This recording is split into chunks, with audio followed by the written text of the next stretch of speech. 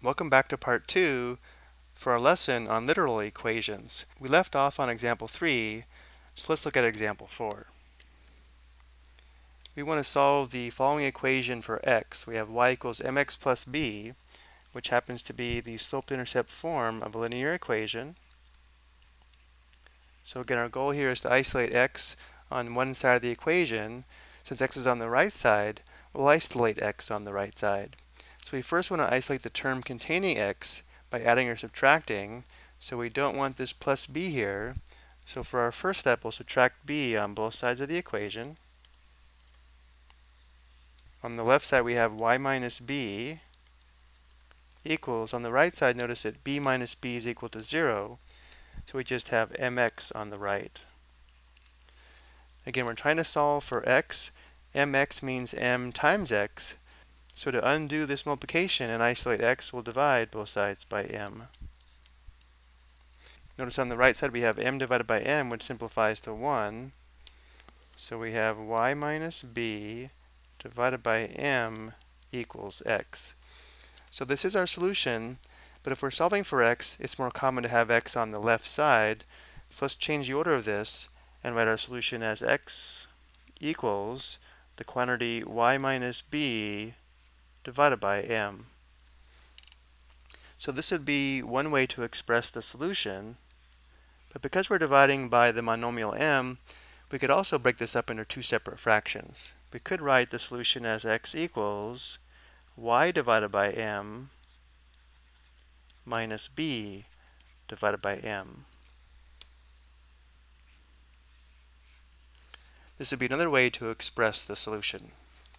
Example 5, we want to solve the following equation for y. So we have the equation 3x plus 4y equals 20. So for solving for y, we first want to isolate the term containing y. So we don't want this 3x here. So for the first step, we'll subtract 3x on both sides of the equation. Simplifying, 3x minus 3x is 0. So now we have the equation 4y equals, on the right side we have 20 minus 3x. Again, our goal here is to solve the equation for y. 4y means 4 times y. So to undo this multiplication and isolate y, we divide both sides by 4. Simplifying, 4 divided by 4 is equal to 1. So we have y equals the quantity 20 minus 3x divided by 4. Once again, there are several ways to express our solution. We could leave it in this form here where we have y equals the quantity 20 minus 3x divided by 4. But again, because we're dividing by a monomial, we could also write this as y equals 20 divided by 4 minus 3x divided by 4. Now this does simplify Notice 20 divided by 4 is equal to 5, so we'd have y equals 5. Then notice here the coefficient of this term would be negative 3 fourths, so we could write this as negative 3 fourths x. So we might see the solution in this form, or this form, or if we wanted to have the terms on the right in descending order, we could also write this as y equals negative 3 fourths x plus 5. So it is important to be able to recognize that our solution could be expressed in several different forms. Example 6, we want to solve the following equation for y. We have the equation x minus y equals 5. So we first want to isolate the y term, so we don't want this x here on the left. So for the first step, we'll subtract x on both sides simplify. x minus x is equal to 0. So we have negative y equals 5 minus x. Negative y is equal to negative 1y, which means negative 1 times y. So to undo this multiplication and isolate y, we'll divide both sides by negative 1. Negative 1 divided by negative 1 simplifies to 1. So we have y equals the quantity 5 minus x divided by negative 1. We don't want to leave this negative here in the denominator, so let's go ahead and divide each term in the numerator by negative 1.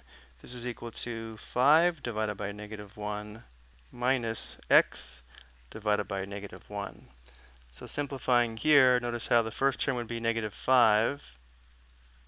And then we have minus x divided by negative 1 would be negative x. So subtracting a negative is the same as adding a positive. So the two most common ways to express our solution would be y equals negative 5 plus x. Or if we want the right side to be in descending order, we put the x term first. So we could also express the solution as y equals x minus 5. These would be the two most common ways to express the solution to our literal equation. For our last example, we have f equals 9 fifths c plus 32, and we're asked to solve the equation for c. So we'll first isolate the c term by subtracting 32 on both sides.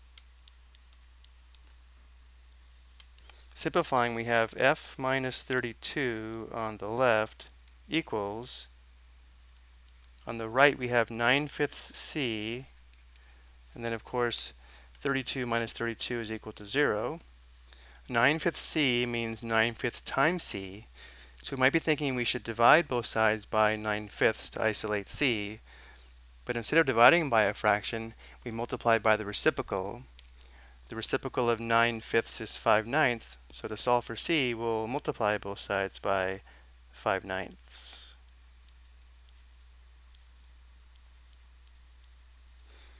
Let's simplify the right side first. Notice how 5 ninths times 9 fifths simplifies to 1. So we have C equals 5 ninths times the quantity F minus 32. Again, because we're solving for C, we typically want C on the left side. Let's rewrite this as C equals 5 ninths times the quantity f minus 32. This would be one way to express our solution, but we could also distribute the 5 ninths if we wanted to. So we could also say c equals 5 ninths times f, or 5 ninths f, minus 5 ninths times 32. Let's find that product on the calculator. So we have 5 ninths times 32. This gives us a decimal approximation. To find the fraction, we'll press Math, enter, enter, which gives us 160 ninths. So we have minus 160 ninths. Of course, we could also find this product by hand. 5 ninths times 32 over 1, nothing simplifies, so we still get 160 ninths. So our solution can be expressed in this form here or this form here. But notice how it's extra work if you decide to distribute. I hope you found this helpful.